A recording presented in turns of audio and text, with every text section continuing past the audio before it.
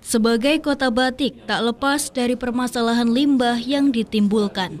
Limbah industri batik dan rumah tangga di aliran sejumlah sungai yang membelah kota Pekalongan semakin parah.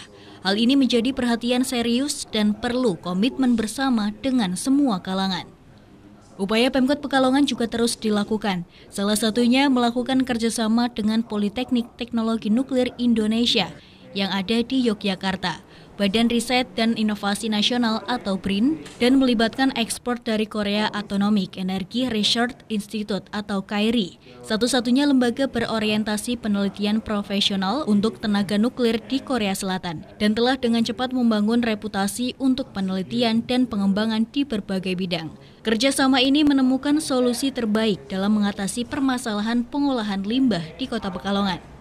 Sebenarnya tidak hanya limbah batik saja, tetapi juga ada yang berasal dari industri tekstil, sablon, dan jeans. Dengan adanya kerjasama ini, permasalahan kompleks bisa sama-sama segera dikerjakan untuk mengatasi permasalahan limbah yang ada. Direktur Politeknik Teknologi Nuklir Indonesia Zainal Arif mengungkapkan akan melakukan kunjungan ke beberapa pengusaha batik di wilayah kota Pekalongan untuk melakukan uji coba skala laboratorium. Dari hasil itu akan menemukan sejumlah rekomendasi dari segi akademisi, pemanfaatan teknologi, studi kelayakan yang tepat untuk diterapkan di kota Pekalongan.